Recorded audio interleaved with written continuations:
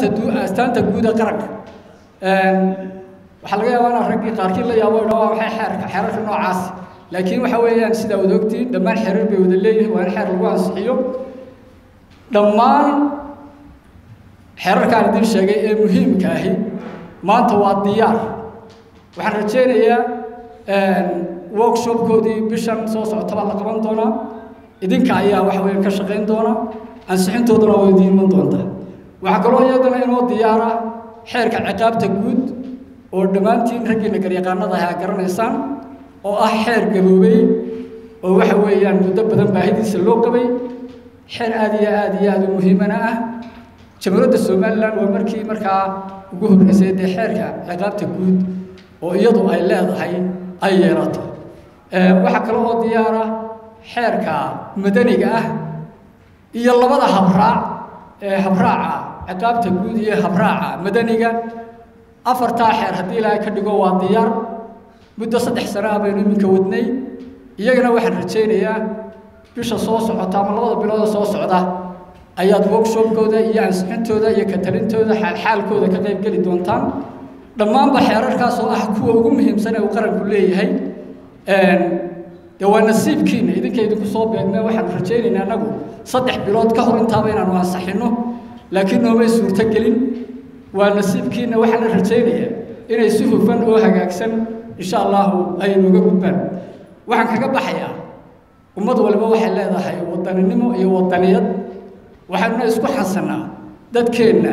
Wadaninimadu waa ku yartahay iyada lafteedu waa wax la barto oo laga shaqeeyo. Dhammaantiinba jaamacadada gudaha ama dibaddaabaa ka soo baxdeen. Waxaad ogtihiin inay jirto maaddo civic education ah oo aad ku khasbanaydeen inaad barataan jaamacadihii aad ku jirteen. Innaguna ay tahay wax inaga maqan nasiib wanaag.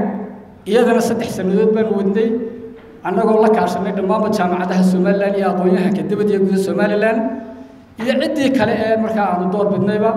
Waxaana inoo suurto gashay inaynu dhammaynay waxa weeyaan civic educationkii lagu baran lahaa jaamacadaha jamhuuriyadda somalilan sannadkii la soo dhaafay akhirkiisii isagana waxa weeyaan jaamacaduhu maanta ay ku dari doonaan manhajka caadiga ah ay bartaan.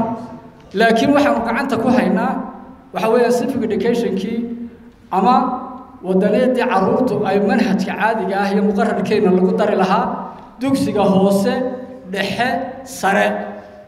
Intaasaanu wadnaa kaana waxa weeyaan waa soo gaadheen waana u baahnayn.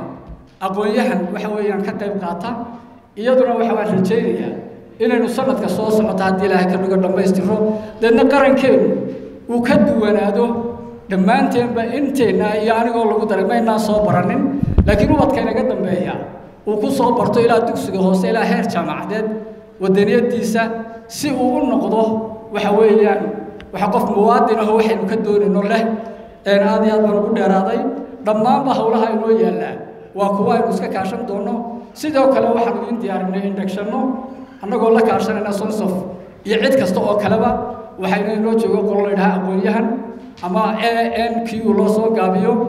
Waxa weye waa aqoon-yahano waa looyaro weliba waxay tababari jireen. Baarlamaanka ingiriiska ayay muddo dheer tababari jireen. Maanta halkan ay noogu yimaadaan bay ahayd. Laakiin insha allahu iyaguna waxay diyaar u yihiin inay waxa weeyaan aqoontooda ay runtii inala wadaagaan. Taana insha allahu waynu ka wada socon doonaa waxaanu samaynay santar cusub oo weli aan la furin oo aan ugu talagalnay xildhibaanadu howlahooda inay ku gutaan wakti kasta oo ama iyaga loo qabanayo ama iyagu ay cid u qabanayaan. Labada xafiisna waa isku dhow yihiin oo waa loo soo lugeyn karaa. Waxaanu aad iyo aada uga wada shaqaynaa xooghayaha oo runtii ah xubin firfircoon oo annagana si weyni oo waafiya noola shaqeeya.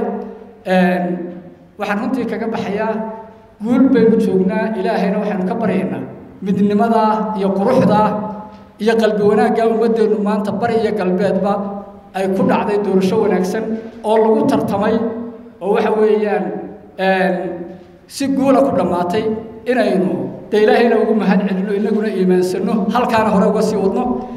Waan idinka mahad celinayaa dhammaantiinba waktiga dheer ee ay siiseen waxaanu leeyahay guul